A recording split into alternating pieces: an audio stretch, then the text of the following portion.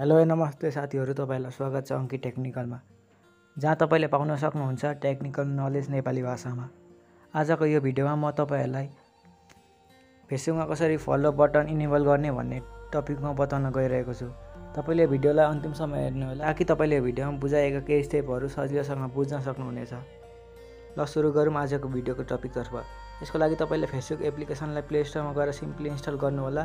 त्यसपछि त्यसलाई ओपन गरेर तपाईँको आइडी लगइन गर्नुहोला। लगइन गरिसकेपछि तपाईँले आफ्नो प्रोफाइलमा जानुहोला। म तपाईँलाई यहाँ अहिले देखाउन गइरहेको छु कि मेरो यहाँ?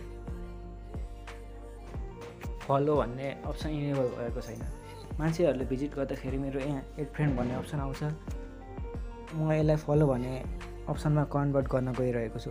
यसको लागि तपाईँले जानुपर्ने हुन्छ सेटिङमा। सेटिङमा जानु होला त्यसपछि तपाईँले यहाँ पब्लिक पोस्ट भन्ने अप्सन देख्नुहुन्छ। तपाईँले याद राख्नु होला कि तपाईँको एज एट्टिन इयर्सभन्दा कम नहोस्। पब्लिक पोस्ट इनेबल हुँदैन त्यही भएर। यहाँ सबै पब्लिक गर्दै जानु होला तपाईँले। सिम्पली पब्लिक गर्दै जानु होला एभ्री वान गर्नु होला पब्लिक गर्नु होला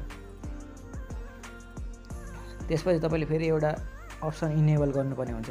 तपाईँले प्राइभेसी सर्टकटमा गएर सी मोर प्राइभेसी सेटिङमा गएर तपाईँले यहाँ देख्न सक्नुहुन्छ यहाँ who can send you a friend request यहाँ तपाईँले फ्रेन्ड अफ फ्रेन्ड भन्ने अप्सनमा टिक मार्क लगाउनु होला।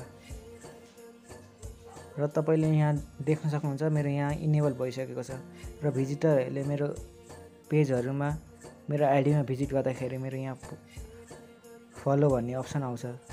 र तपाईँले पनि मात्रै दुई तिन मिनटमा तपाईँले यहाँ फलो भन्ने अप्सन इनेबल गर्न सक्नुहुन्छ। आशा छ तपाईँलाई भिडियो मन परेको छ। सक्नुहुन्छ। भिडियो मन परेको छ भने लाइक गरिदिनु होला। भिडियोको बारेमा के भन्न चाहनुहुन्छ भने कमेन्ट गरिदिनु होला। र यस्तै यस्तै फरक फरक भिडियोको लागि मेरो च्यानललाई सब्सक्राइब गरिदिनु होला र साइडमा रहेको बेलाइकन प्रेस गरेर अल नोटिफिकेसन अन गर्नु होला। आजको लागि यति नै। फेरि भेट हुने अर्को भिडियोमा तबसम्मको लागि म बिदा चाहन्छु।